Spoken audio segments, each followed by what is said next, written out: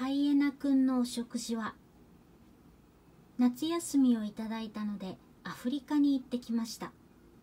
赤道直下のケニアへ。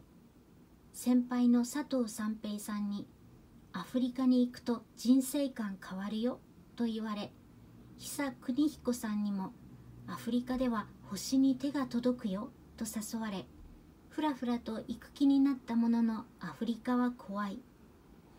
アフリカといえばサバンナでありサバンナといえばライオンでありライオンは人間をかじる。そのライオンのいるサバンナに屋根のないサファリカーで出かけていってライオンからわずか数メートルのところでウォッチングをするのだという。三平さんはアフリカは2度目で前回の時はヒョウがサファリカーのボンネットに飛び乗ってきて座り込み肝を冷やしたという。成田からロンドンまで12時間。ロンドンからケニアまで8時間。ケニアでは毎日朝6時に起き飯を食うとすぐサファリカーに乗り込み見渡す限り大草原の中を一日中走り回った。ライオンを求めヒョウを求めゾウシマウマキリンを求めて走り回った。ライオンの一家がイボイノシシを食べているのを見た。その距離は自分の家の庭でイボイノシシを食べているライオンの一家を縁側に座って見ているという感覚だ。そんな距離でもライオンは決してサファリカーを襲ってこない。サファリという長い歴史の中でライオンとサファリカーの間に暗黙の了解ができているのだという。3匹のハイエナがヌーウシカモシカを食べているのを見た。ハイエナは死肉ばかり食べているように思われているが自分で狩りをする方が多いそうだ。そのヌーは現地ガイドの説明では自分で倒した獲物だという。ハイエナはちょうど犬ぐらいの大きさでヌーは小さめの牛といったところだ。3匹が協力してヌーを倒したらしい。ハイエナはよく見るとなかなか可愛らしい顔をしている。そのハイエナが鼻先を血で真っ赤に染めて大きなヌーの足を食いちぎっている。コリコリとも骨を噛んだり首を振って骨から肉を離そうとしたりしている。足の肉をかみしめながら今日のこのお肉はとっても新鮮で噛み応えも十分あって喉越しもよく血の味もまったりとしてとてもおいしいなんて思いながら食べているのかもしれない。行為は荒々しくてたけしいが言ってみればこれは彼らのお食事ということになる。マナーとか作法なんかもこれが正解でこれで結構礼儀正しく食べているのかもしれない。ところが彼らのせっかくのお食事は招かれざる大勢の客に取り囲まれていたのである。彼らの周りをおよそ60羽ほどのハゲワシが取り囲んでいた。その様子は人気のあるラーメン屋を取り囲んでいる客たちのように見える。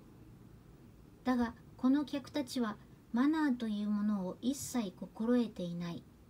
隙を見てはヌーの肉をかっさらおうとする。当然ハイエナは怒る。うーっとなって飛びかかっており追い払う。追い払うために現場をほんの少し離れた隙に別のハゲワシが肉に取りつく。何しろ3匹対60羽だ。ハイエナはおちおちおち食事ができない。目まぐるしく動き回り吠え回りうなり回り駆け戻り肉をかじり上目遣いに周りを見てまたすぐ追い払いに行く。せっかくのまったりとしたいいお肉を味わってる暇がない。見ていてまことに気の毒であった。もしこれが自分だったらどうか。我が身をハイエナに置き換えたらどうなるか。例えば道路側にテラスを張り出させてテーブルを並べた店がありますね。パリのカフェなんかによくあるオープンエアスペースとかいう店。ああいうところで食事をしていたとする。テーブルの上にはサンドイッチとかローストビーフとかビールとかが並べられている。ビールを飲みローストビーフをナイフで切って口に運びふと周りを見回すと驚いたことにこのテーブルはいつの間にか巡回単色系顔面赤付着頭髪レゲエ紙袋多数傾向のおじさんたちに取り囲まれていた。その数およそ60名。全員目が真剣だ。おじさんたちは隙を見てはサンドイッチに手を出してくる。当方は当然うなる。うーっとうなってその手を払いのけるがおじさんたちはひるまない。立ち上がっておじさんの肩を押している隙に別のおじさんがローストビーフをわしづかみにして頬張って逃げる。そのおじさんを追いかけているうちに別のおじさんがビールを飲む。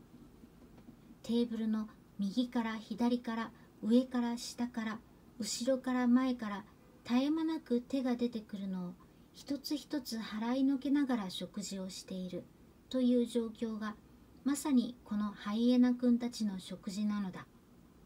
しかもこういうこともたまにあるというのではなくて毎食事毎食事彼らは必ずレゲエのおじさんたちの来週を受けるのだ。レゲエのおじさんの来週なしのゆっくり落ち着いた食事を一度でいいから彼らにさせてやりたいとつくづく思った。